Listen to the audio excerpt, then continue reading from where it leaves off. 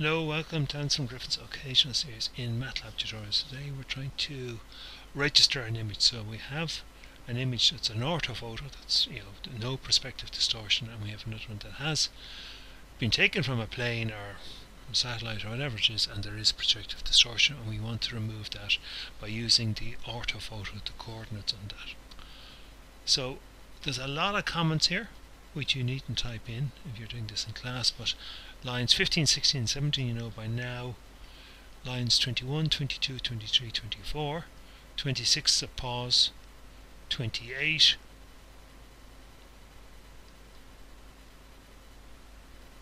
Fifty-seven, sixty, and 63. Okay.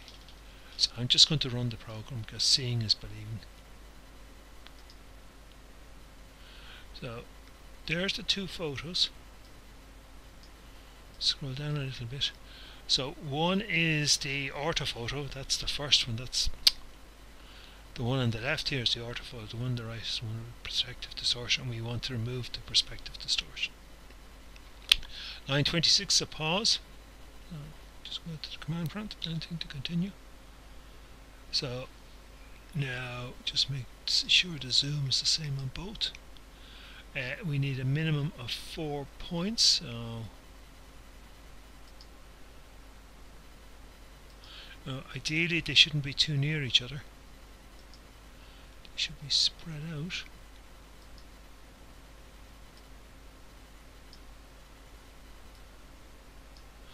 uh, there's a nice point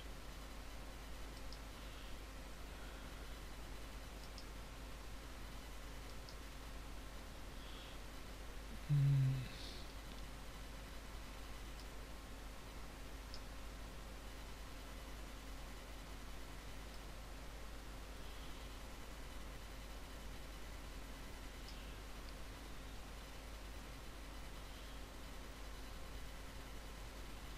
I'm just having a little difficulty trying to find an edge.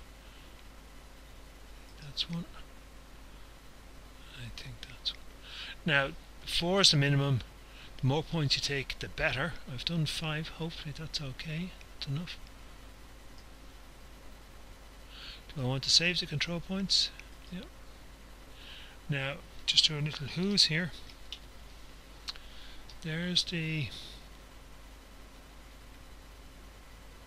input points that I selected the five points and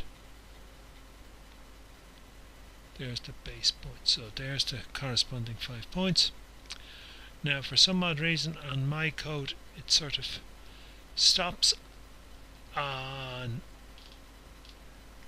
there on 928 uh, I could have fine-tuned them here using um, cross correlation but as I notice here as you can read it won't work if one image is rotated with respect to the other.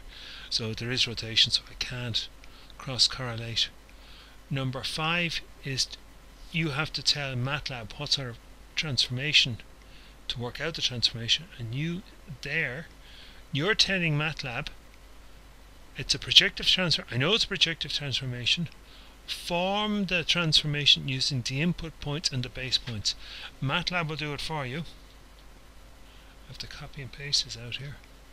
Now if I leave out the semicolon here, you get that. Where's the where is the uh, matrix that does it all? My transform dot t data and then my dot t data dot t. So that carries out the, the removal of the projective transformation and the inverse of it is obviously now for the moment I didn't go through that.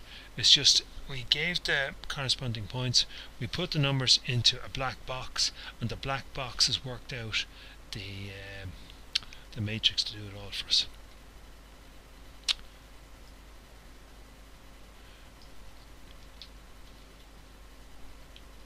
So that's to carry out the actual transformation and we're going to name the resulting image registered and then finally we're going to show it.